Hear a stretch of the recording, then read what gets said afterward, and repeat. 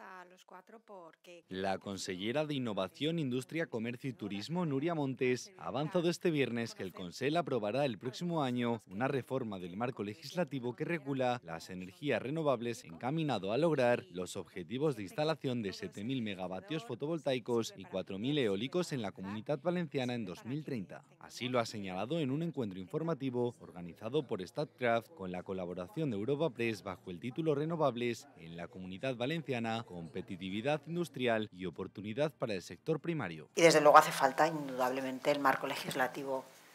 nuevo. En esto sí que os puedo anunciar ahora mismo que los primeros días, o sea, el año 24, lo comenzaremos con una reforma legislativa que precisamente habilite y nos permita a todos eh, transitar por este, por, este, por este camino para poder lograr estos objetivos de, de, instalación, porque como ya he dicho, no es una oportunidad para nosotros, sino es una obligación hacerlo. La empresa Statkraft, productor de energías renovables propiedad del Estado de Noruega, ha conseguido la autorización administrativa para implementar el parque fotovoltaico Arada Solar y espera a finales de 2024 iniciar la construcción de este proyecto para la producción y suministro de hidrógeno verde a empresas del sector cerámico de Castellón que contribuirá a descarbonizar esta industria, bajar sus costes e impulsar su competitividad.